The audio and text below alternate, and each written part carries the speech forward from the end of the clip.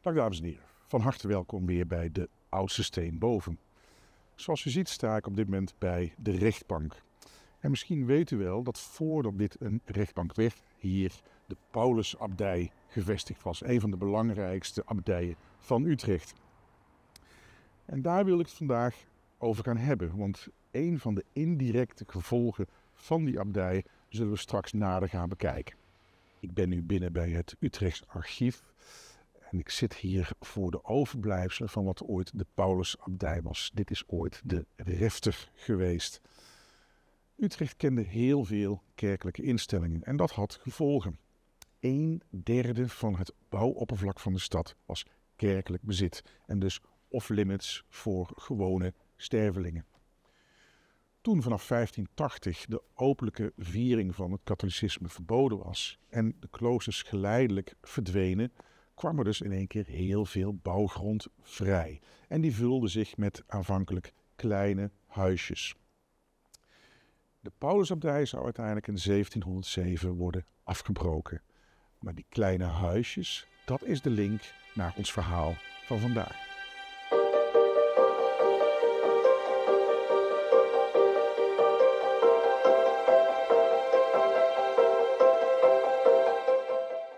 Jacob Molenaar werd in 1853 geboren in Tjerkwet in Friesland. En nadat hij zich had bekwaamd in het koksvak in steden als Rotterdam en Gouda, kwam hij naar Utrecht. Eerst begon hij een eenvoudige kokerij hier achter mij in de Hamburgerstraat, maar hij wilde meer. En in 1900 kon hij dit prachtige pand hier aan de Korte Nieuwstraat kopen. Vanaf nu wilde hij exclusief gaan koken. Hij noemde zich voortaan cuisinier en dit werd het begin van wat we nu Huizen Molenaar noemen. U heeft vast aan de buitenkant wel eens voorbij gefietst en gedacht, wat zit daar eigenlijk? Nu hebben we de kans om dat eens van dichtbij te gaan bekijken. Gaat u mee?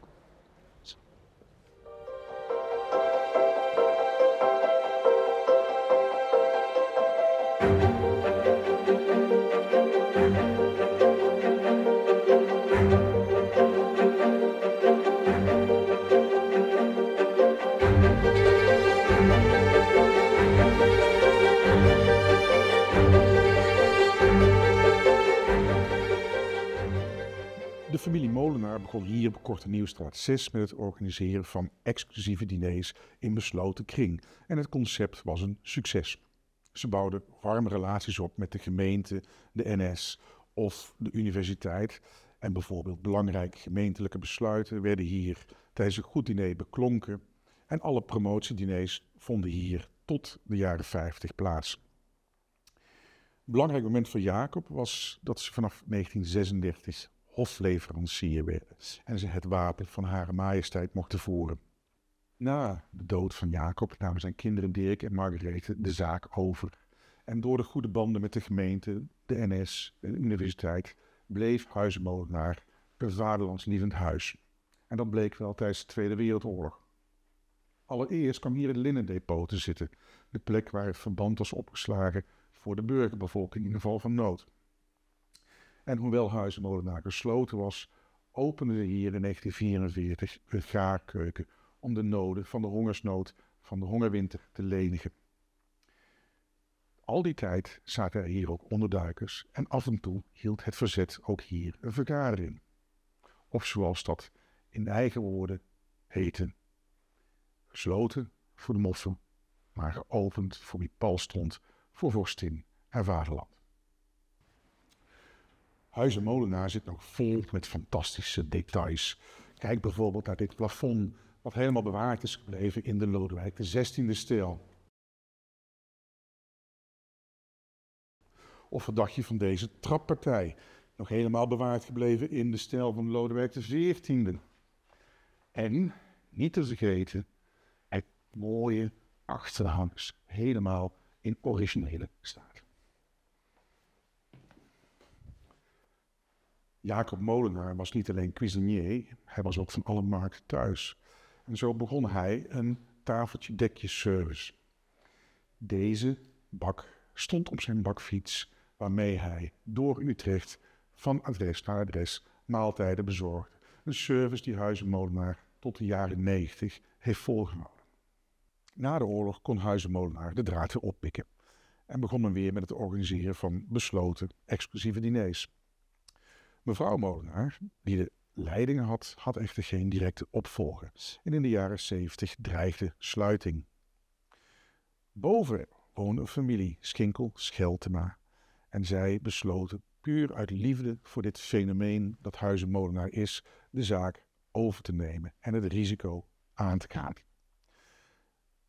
Zij, samen met hun zoon Michael, die de zaak in 2004 overnam, hebben Huizenmolenaar weer helemaal in zijn oude glorie hersteld. Dit is de Scheltema-kamer, vernoemd naar mevrouw Schinkel Scheltema, die dit huis van de ondergang heeft gered. Prachtig geschilderd in de oude kleur ossenbloedrood.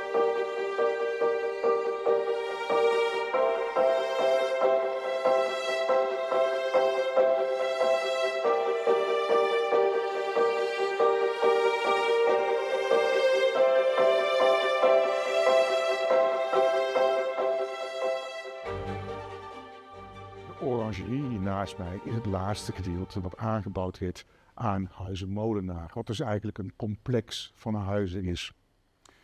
De grote vraag voor Huizen Molenaar was natuurlijk hoe gaan we om met de uitdagingen van de 21ste eeuw. De stichting Heirloom heeft daar een oplossing voor gevonden. Er wordt hier nog steeds tophoreca op een toplocatie aangeboden en eventuele winsten worden weer teruggestopt in het pand. En zo lopen we hier in de tuin. En wat zien we dan uiteindelijk achter mij? Een van de best bewaarde muurfragmenten van de Paulusche abdij. Deze stukken van tufsteen zijn bijna duizend jaar oud en zijn ooit deel geweest van deze beroemde abdij. En zo is het verhaal van Huizenmolenaar weer helemaal rond.